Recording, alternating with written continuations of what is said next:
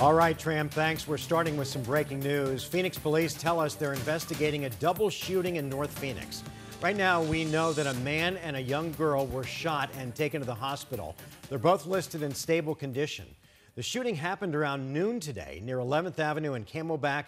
We've got calls in to Phoenix police to learn more about what happened.